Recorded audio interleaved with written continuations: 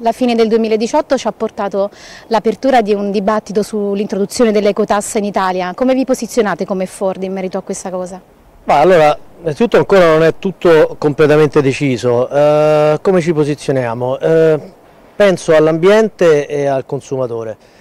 Dal punto di vista dell'ambiente, eh, quindi del problema dell'inquinamento, eh, il provvedimento per quello che abbiamo visto eh, è, è quantomeno inadeguato e sarà sicuramente inefficace.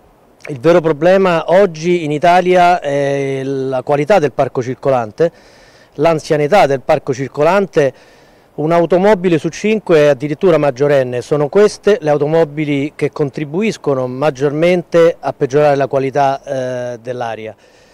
Eh, niente eh, è incluso nel provvedimento eh, per accelerare lo svecchiamento del parco circolante. Quello che invece è previsto avrà una scarsissima efficacia perché si rivolge a una parte del parco circolante estremamente limitata che è quella al di sopra delle 160 di CO2 che è eh, meno del 5% delle vendite del 2018.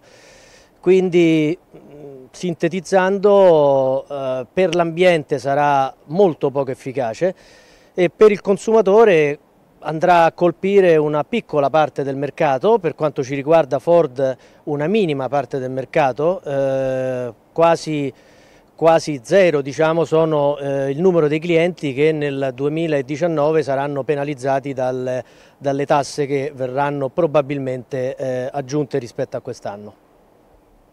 Eh, quali sono i modelli coinvolti e interessati da questa manovra?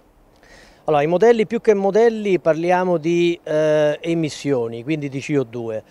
Eh, si parla di una soglia di 160 di CO2, quindi indipendentemente dalle motorizzazioni benzina o diesel non ci sarà nessuna distinzione, ma modelli o motorizzazioni che avranno eh, eh, CO2 eh, superiore ai 160 avranno eh, delle penalità.